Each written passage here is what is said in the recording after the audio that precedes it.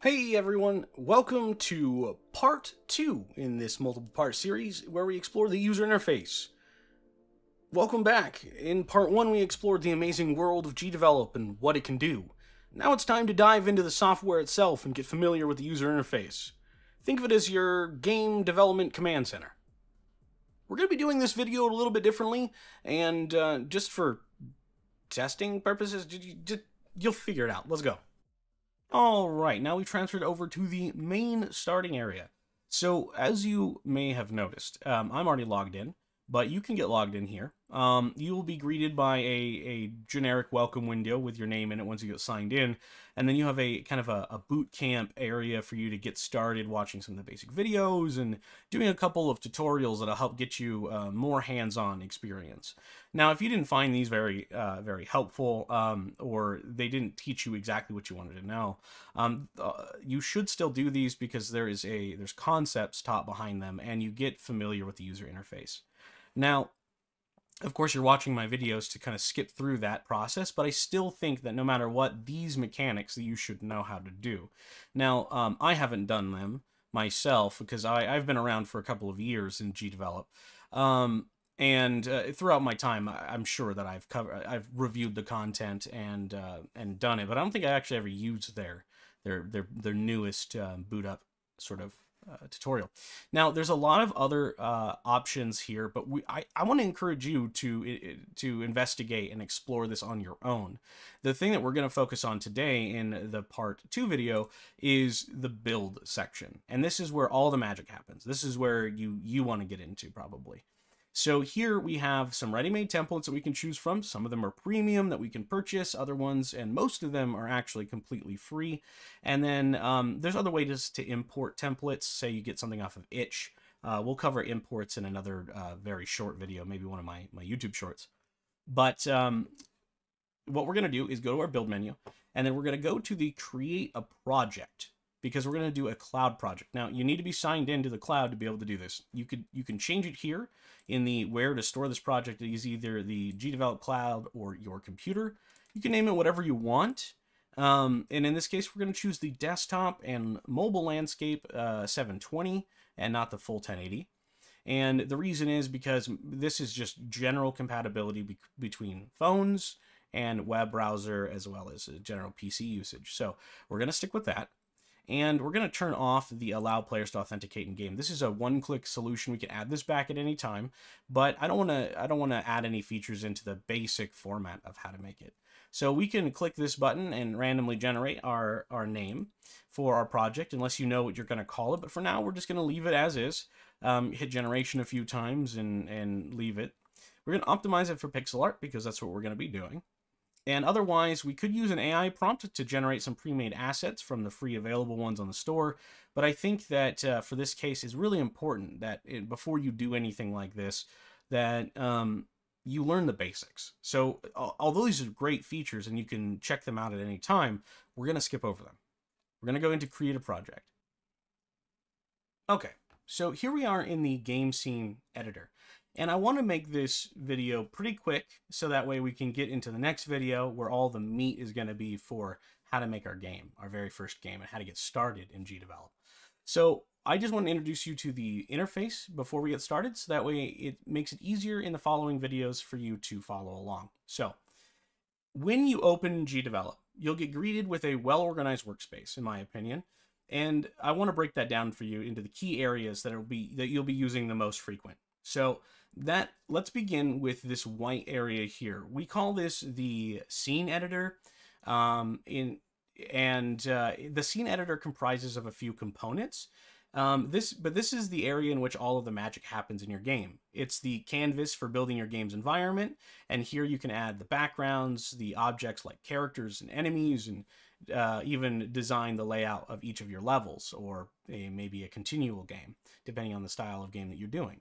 So uh, that's where all of this is. And now inside of this component, this scene editor, this white canvas, using the mouse wheel to zoom in and out, um, and you can also use the middle mouse button down uh, if you click it to drag and, and navigate this menu. But this black area is your uh, view port or your camera. And so this is the area, whenever we press the preview button, this is the area in which that you'll see uh, your game take place. So the, everything, anything that we put in here will be available there. So anytime you want to test out your game, just click the preview button. That's great. Um, if it is already open, you can generally click the update button and whatever you changed will go into effect. Now, sometimes um, there are use cases where you need to actually close it all the way down. While we're getting started in this uh, the tutorial series, we won't be updating our scripts very often. We'll just close it out and relaunch it to ensure functionality to make sure it's working.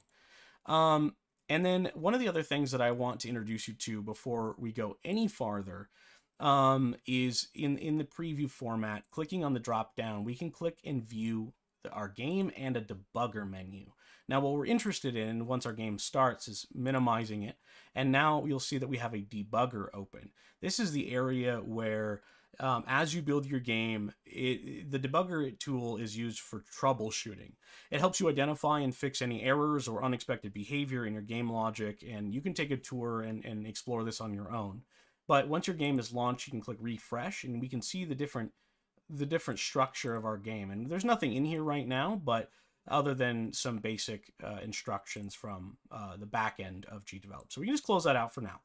If you find yourself back at the home screen menu, just navigate back at the top, get back to our untitled scene, and we'll move over to the next part. So the next part is the objects menu.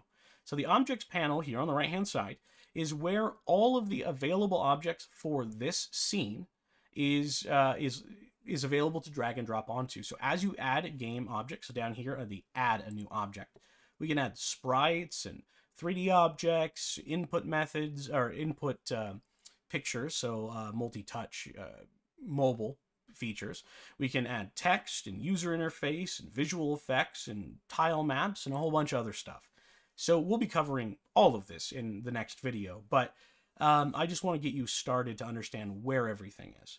So here on the right hand side again, this is everything that's available in this uh, layout or, or scene.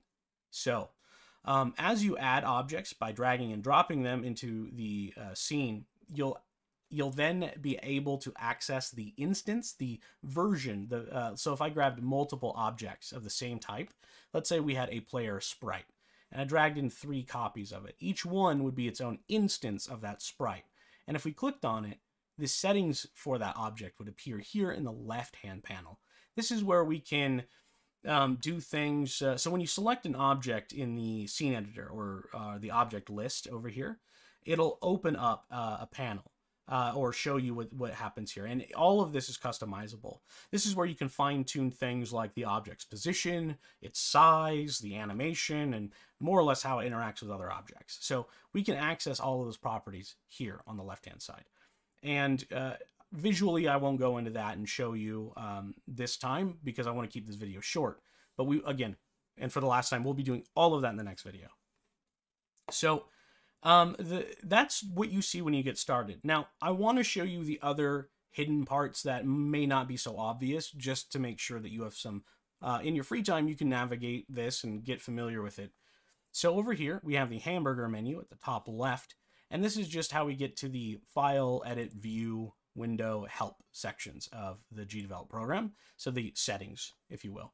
And then we have the project manager, which is the area, uh, this little uh, three cubed thing, um, is where we can access our game that we've recently started.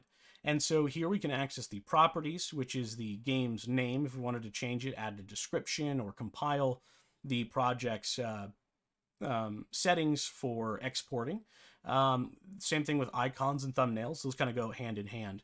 And the game dashboard is a unique feature inside of GDevelop that lets us look at our statistics for our game, what builds are available online and where they're located, the feedback section from other users if you open your, your project up for that, analytics so you can see who's playing your game and all of that good demographical information, the leaderboards. So you can actually add a um, custom leaderboard for your game and we can keep track of players who've survived the longest or who's killed and you know more, the most monsters and things like that. And then uh, or you know game scores and whatnot and then marketing and ads. And this is the section once we have our game ready and launched and shared online we can we can use the ad marketing tools Um, and then we have global variables, which is so well actually. So we have game settings, which is more of our big overall project settings, and then we have the the direct project settings. So what we're immediately dealing with, the actual. Um, so this is like composition and uh, administrative tools, I would say. And then here we have the actual project tools. And so we have global variables, which are variables like text strings, number variables, booleans, yes, true and false, um, and then uh, arrays or structures. And uh, we can create those here on a global scope, which means we can access these features no matter where we are in the game uh, here. And so we can add those, we can name them, give them a variable, and, and uh, you know, if it's a string, you can say hello world. Um, uh, and then that would just be saved in our global features, and we can access that, uh, that variable later. We have the resource manager tool, which uh, very simply put is as you create objects and things in your game, you won't have anything in here, but I had created an object to show you that even though I don't have anything available here in the objects list, because um, I had created something and then deleted it, the resource is still available in the game. And this can bog down your game, and you may need to manage your resources at some point to remove unwanted files. And you do that here in this section, clicking on it, deleting it, um, changing, you can edit the, the file location, um, or even with a right click, remove the unused assets of any kind. And there we go, it's gone. So that's pretty cool. And then we can also see that we have our scenes. If we want to change anything in our uh, scene that's already made, we can click on the buttons and edit those various properties. Um, we can rename it if we wanted to um, and do all that there. Extensions are where we add extra functions and behaviors for our game, like health and points and um, firing bullets, adding controller support, and other really cool features that have been added uh, by the GDevelop team as well as mo uh, mostly predominantly by the uh, community at large. And so there's community made resources and approved resources, and all of those are available in the extensions. And um, I, I, yeah, and so we'll we'll be going into that again uh, in in the following video. And then we have external layouts, uh, events, and layouts, which um, those are a bit more um, require a bit more investing of your time to kind of manage those and, and use them. But uh, I would say that for now, we can stick to just a scene. So here we can see if we double clicked on our scene, um, that we, we have it open here or just tab over to it. Now, if you did close these, um, even if you close both of them, you're in, you go back to the build menu, you are still technically in your game. You can go over here and click on that and then just double click on your scene and reopen it in case you closed anything.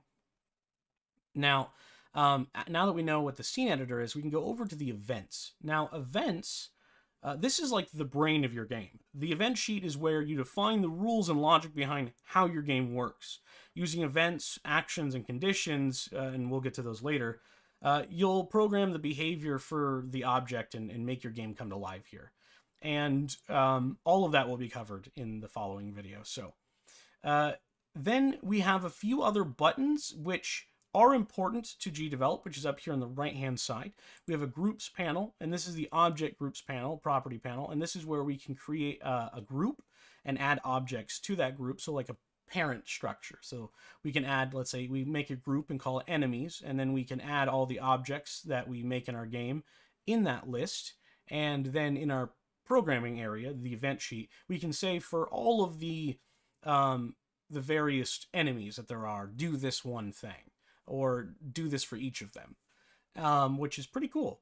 And so we can close that down. And then we have the instance panel. Like I said before, if you create objects and drag them in here, each one that you do create, each instance, will be added down here. And we can see, uh, we'll be able to view them by name. We can sort them by what their X and Y positions. We can check their angles, what layer they're visible on, and the Z order or the depth on each layer that they're on. And so that'll make more sense later on. We have the open panel pro layer properties, and this is where we get the uh, the section for so our layers panel is where we get uh, all the information that we need for uh, or so in our layers property panel, this is the area in which um, we can add more uh, layers and background information. We can lock them to make sure that we don't accidentally um, click on anything or maneuver anything on that layer, or we can turn off visibility and even add game effects. We can even add game effects such as lighting or outlines and fog and all sorts of good stuff. So uh, that's what that area is for. We can close that down. And then we have one, arguably one of my, uh, I think the one of the most critical parts of developing in GDevelop, and that's the grid. Making sure that your game snaps to grid um, and uh, is accessible that way. And that way, when you drag items onto here, they, um, they stay within the grid format, which is very handy. And also we can change our grid options. So it starts at a 32 by 32, but we can change it to anything we want and even change it to isometric there isn't uh, really um, a, a, whole lot of limitation there. There's a, there's a lot of uh, flexibility in creating our grids and our mask layers, um, or um, sorry, our mask grids. Um, so pretty cool. Um, there's also the the undo and uh, redo button, the various zoom features or fit the content into screen. We can uh, get it back to its initial position. Um, I'm going to disable the grid so we can see a little bit more clearly. And then we have the, the uh, scene property panel. So we can name this particular scene. We can change the background color or add scene variables, much like global variables, but only available here in the game scene. So that's a very quick crash course on how to navigate the user interface. I really want to encourage you to go ahead and take the time to navigate through this on your own. GDevelop is designed to be user friendly, so experiment and get comfortable with with how to to do your own input here, uh, interact with it, and uh, it'll make it easier for you to follow along in the following videos. So hopefully this got you squared away on where to get started uh, and how to navigate the interface. And in the next following video, we'll be adding objects and behaviors and going through the real meat of how to get started making your game. So thanks for joining us for part two. If you have any questions about GDevelop's interface, feel free to leave them in the comment section below. And be sure to like and subscribe for more awesome GDevelop tutorials. Remember, happy game making, and I'll see you in the next video.